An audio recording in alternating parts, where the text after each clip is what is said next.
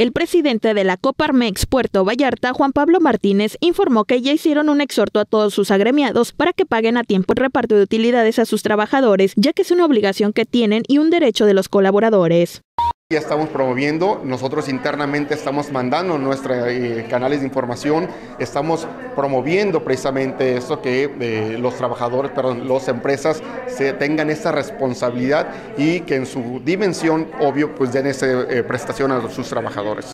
Indicó que todavía están las empresas en una recuperación paulatina y constante. Si bien pasó una temporada alta importante muy buena, ayudó mucho a dicha recuperación, por lo que las obligaciones de los patrones deben de cumplirse.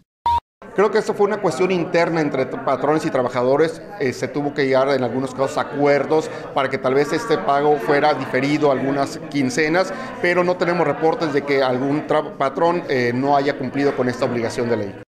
Cabe mencionar que mayo ha sido establecido como el mes en el que se reparten las utilidades, lo cual no se puede suspender, negociar, condicionar o entregar en especie, lo que obliga a los patrones o empresas que operan en México a pagarlas a sus trabajadores. El reparto de utilidades es un derecho constitucional que establece que la población trabajadora que proporciona un trabajo subordinado para una persona físico moral tiene derecho a participar de las ganancias obtenidas por la empresa o el patrón. Este derecho es de todos los trabajadores con excepción de directores, administradores, generales, socios o accionistas. En el caso de trabajadores eventuales, deben haber trabajado al menos 60 días durante el año que corresponda para tener participación en las utilidades. De acuerdo con la información publicada por la Procuraduría Federal de la Defensa del Trabajo, el 30 de mayo es el último día para que las empresas hagan entrega de las utilidades, pero si eres alguien que trabaja por una persona física, patrón, la fecha límite es el 29 de junio.